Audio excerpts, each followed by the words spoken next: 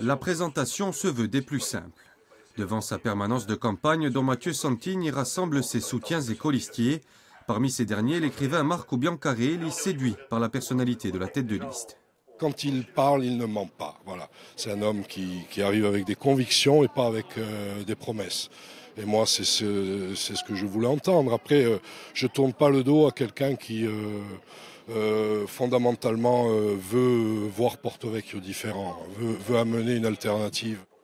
Faciliter l'accès au logement, renforcer le lien social ou mettre en avant la culture, voilà pour les principaux axes du projet de Portier Dava, un projet qui se veut en rupture totale avec le modèle actuel.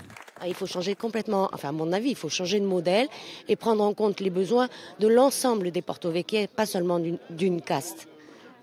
Le bling-bling, le bling-bling Porto euh, ça suffit. Il y a des gens qui ont des besoins, des besoins fondamentaux, et ces besoins-là, il faut les prendre en compte. Gilles Simeoni, président de l'exécutif, Jean-Félix Aquahu, secrétaire général de FEMA à Goursiga, dont Mathieu Santini pouvait compter aujourd'hui sur des soutiens de poids. Le président de l'exécutif semble ainsi prendre position contre la liste conduite par Jean-Christophe Angelini.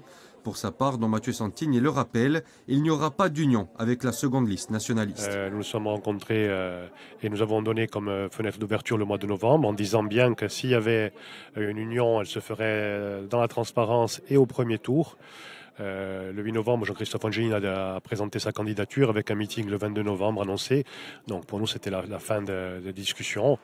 Loin de vouloir jouer les outsiders, Portier Tudava affiche ses ambitions, conquérir seul la cité du ciel.